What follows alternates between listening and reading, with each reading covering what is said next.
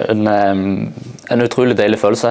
Jeg er veldig stolt, veldig takknemlig, ydmyk over å få lov å fortsette å være Viking-spiller de, de, neste årene. Viking betyr utrolig mye for meg, og det her jeg har spilt min, min, beste fotball. Så å kunne være en Viking-spiller de neste årene er utrolig deilig, og jeg gleder meg veldig til, til fortsettelsen. Det er en klubb som betyr eh, veldig veldig mye for meg. Eh, det er her jeg har spilt eh, min beste fotball. Hatt mange gode opplevelser. Samtidig jeg føler meg veldig ønska. Jeg har fått en fin posisjon i klubben som jeg trives veldig godt med.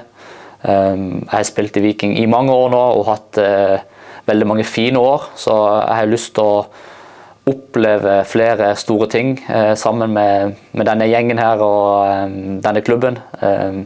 Jeg føler jeg har veldig mye mer å gi. Så det er jo veldig deilig at jeg, jeg signerer på et tidspunkt som er veldig eh, bra for meg personlig. Eh, at eh, jeg har fortsatt veldig mye fotball i meg. Jeg begynner å bli litt eldre. Eh, men eh, samtidig jeg tar med meg den erfaringa inn i, i, hverdagen og ikke minst ute på banen. og eh, det, det, gleder jeg meg til å gjøre i tida framover. Når du ser tilbake på alle åra og alle kampene i Viking, hva er det du er mest stolt over, og hva er det du ønsker å trekke fram, hvis du skal trekke fram noe? Nei, jeg, jeg, var jo, jeg, var jo, med helt fra 2018, når vi, vi rykket opp. og eh, Klubben var ikke på en spesielt god plass, så jeg føler at jeg har virkelig vært med fra bunnen av og bygd opp klubben til å bli den toppklubben han er i dag. og Det, det er jeg veldig stolt over å uh, kunne si at jeg har vært en del av. og det opprykket eh, betydde utrolig mye for meg personlig og for klubben. For det var veldig vanskelig år. Vi hadde en veldig ung gruppe. Eh, samtidig så eh, Det å vinne cupgullet i 2019 året etter, det, det, sitter veldig, veldig høyt hos meg. Én ting at jeg ble jo matchvinner, det var utrolig gøy. og Det er et minne for livet. Men den, den opplevelsen vi hadde i Oslo og fylte Ullevål med alle mørkeblå, det det er en opplevelse jeg aldri, aldri kommer til å glemme, og det er virkelig noe jeg ønsker å gjenskape. Klarer du å huske tilbake til første gang du tok på deg vikingdrakt og første treningen du hadde i den klubben? Ja, jeg husker det. og det, det, er litt av den samme følelsen jeg sitter med nå. at Jeg, jeg følte meg veldig ønska. Det, det er det som har vært veldig fint med min tid i Viking. at Jeg har følt meg ønska fra dag én og eh, fått Eh, mye ansvar egentlig helt fra, fra, første dag når jeg kom her i 2018. og Da var det jo daværende trener Bjarne Berntsen som, eh, som, ga meg masse tillit. og eh, Jeg ble kaptein for klubben veldig tidlig, og det var en ny opplevelse og en erfaring for meg. og Jeg var veldig takknemlig å gå inn i en sånn type rolle, for det har jeg aldri gjort før. så jeg føler jeg har utvikla og lært meg veldig mye på den tida. Det begynner å bli ganske mange år siden nå. og Allikevel så sitter jeg litt med den samme følelsen her i dag, at uh, jeg føler meg veldig ønska. Eh, klubben har gitt meg masse tillit. Uh, her spiller jeg veldig god fotball. Jeg har hatt veldig mange gode lagkamerater gjennom min tid her, som er, det er veldig viktig å nevne. Det er de som har fått det beste ut av meg.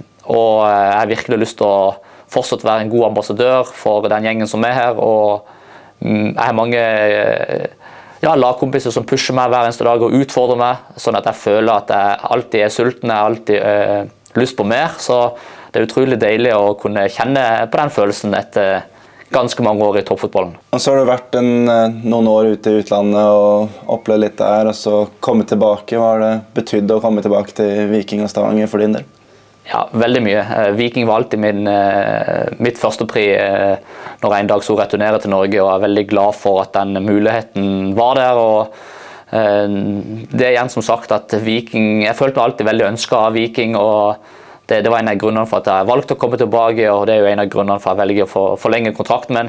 Det betyr utrolig mye for meg. Jeg har lyst til å spille masse fotball, og jeg elsker å spille fotball her for Viking. og de årene jeg har hatt i utlandet eh, har vært veldig viktig for meg og har forma meg veldig mye som person, men ikke minst som spiller. Og jeg prøver å bruke den erfaringa og den, eh, den, de opplevelsene som jeg lærte ute, til å prøve å være en best mulig fotballspiller for Viking. Og det, det tar jeg med meg hver eneste dag.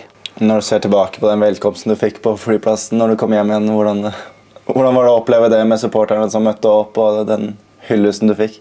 Nei, Det er utrolig rørende. Det, det, er noe jeg alltid kommer til å se tilbake på når jeg blir en, en gammel mann. Eh, det, det, tar jeg virkelig ikke for gitt. og det er det som er med den følelsen jeg sitter med nå, og egentlig den følelsen jeg alltid har hatt som vikingspiller, at jeg virkelig ikke tar det for gitt. Jeg er veldig takknemlig.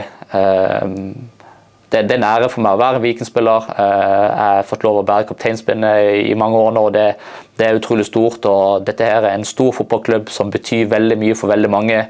Og Det, det skjønner man veldig tidlig når man blir spiller for Viking. og det, det er utrolig gøy å være en del av. og jeg, jeg håper at jeg kan være med og skape mange store øyeblikk med den klubben og den garderoben vi har. Og ja, jeg skal fortsatt prøve å være best mulig spiller.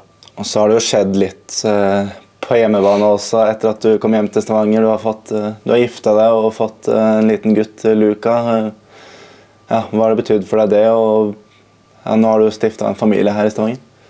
Ja, det jeg har sagt flere ganger at jeg elsker Stavanger, og Stavanger betyr utrolig mye for meg. og det, Sønnen min er født i Stavanger, og det sier jo litt. Altså, altså, dette her blir bare mer og mer mitt hjem. Jeg har en helt fantastisk kone hjemme som legger til rette for at jeg får lov å gjøre det jeg elsker mest av alt, å spille fotball. Og, og det å altså Fotballen gir deg opp- og nedturer, masse følelser så, he, så vet jeg alltid at jeg har noe fantastisk å komme hjem til.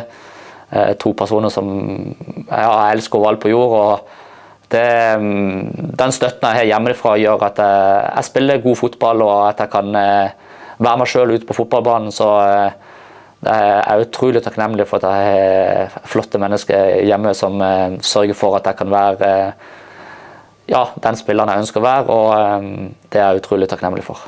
Hva betyr det for deg å se unge barn uh, gå rundt med drakta di på ryggen, uh, høre Felt O synge sangen din, og, at du har den statusen du har?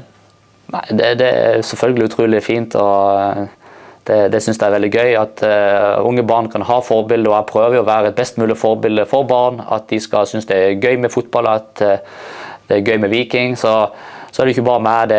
Alle vi som er her i Vikinggarderoben ønsker å være gode forbilder. og Vi ønsker å se flest mulig barn gå med vikingdrakt og våre navn bakpå. Det, det er utrolig stort og fint. og Vi ønsker å være best mulig ambassadører. så, så selvfølgelig skal jeg fortsette å ha den rollen. og Jeg ønsker at flest mulig skal komme på SR Bank Arena, fortsette komme på kamp og være med og skape de magiske øyeblikkene som Eh, vi har skapt i veldig mange år nå, så eh, jeg gleder meg veldig mye til tida framover.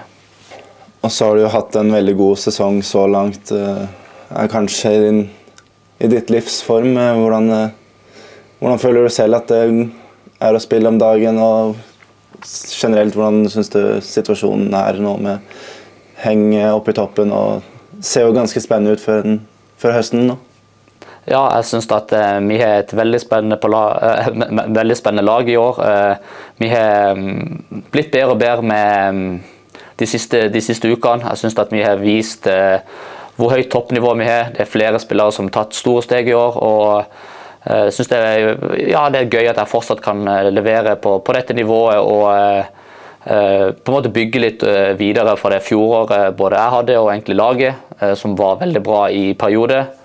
Eh, så eh, for min del så har det alltid vært viktig å holde meg i god form. Eh, jeg skjønner jo med, Når man blir litt eldre, så må man enda mer nøye på de små detaljene for å ikke bli tatt igjen av alle de unge kreftene som er her i, i garderoben. Så de er med og pusher meg hver eneste dag, og det, det er jeg veldig takknemlig for. og jeg er veldig nøye på de små detaljene som kan gjøre meg enda bedre.